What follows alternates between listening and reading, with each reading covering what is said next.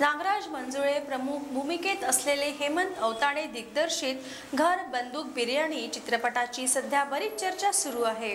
सर्वत्र चित्रपटाचे जोरदार प्रमोशन सुरू असून चित्रपटाच्या प्रमोशनासाठी मंजुळे व त्यांची चमू शुक्रवारी येथील सरदार पटेल महाविद्यालयात आली होती. महाविद्यालयातल्या सर्वांचे दमदार स्वागत करण्यात आले.